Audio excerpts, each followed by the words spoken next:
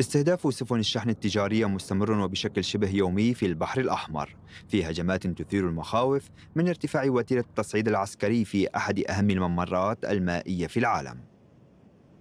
القيادة المركزية الأمريكية سانتكوم قالت في بيان إن الحوثيين في اليمن استهدفوا بصاروخين باليستيين مضادين للسفن سفينة الحاويات بينيكيو التي ترفع علم ليبيريا في البحر الأحمر دون وقوع خسائر بشرية أو أضرار مادية.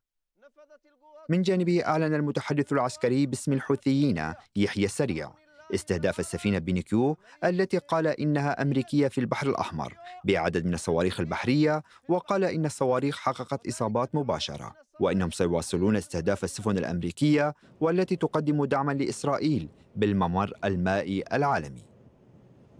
ويأتي ذلك بعد ساعات على تصريحات لمتحدث باسم الحكومة اليمنية لوكالة رويترز. قال فيها إن أحد عشر شخصا قتلوا وأصيب أربعة عشر آخرون جراء غارات جوية أمريكية وبريطانية.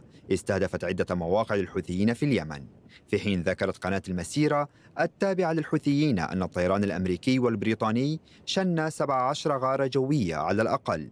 استهدفت مدينة الحديدة وعددا من المناطق الساحلية غرب البلاد دون الإشارة لوقوع خسائر بشرية أو مادية. وكانت القيادة المركزية الأمريكية قد قالت في وقت سابق من يوم الاثنين إنها نفذت ضربات جوية استهدفت غواصة مسيرة و18 صاروخا مضادا للسفن تابعة للحوثيين باليمن.